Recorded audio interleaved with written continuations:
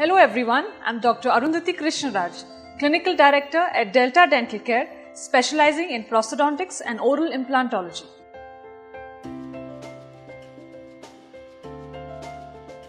Now, dental implants can be placed in different procedural uh, ways. There is a single stage or a one stage implant or a two stage implant.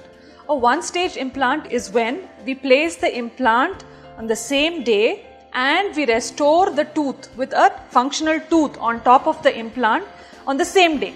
That is, the root form, that is, the implant is embedded inside the bone, and the tooth portion is also given on the same day. This is called as a one stage or a single stage implant.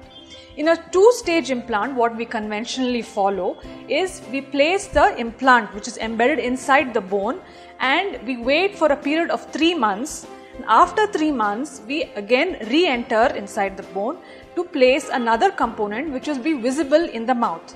And then we restore the tooth with a tooth clinical crown after a period of 3 months. This is done in a two-stage procedure and is called as a two-stage dental implant.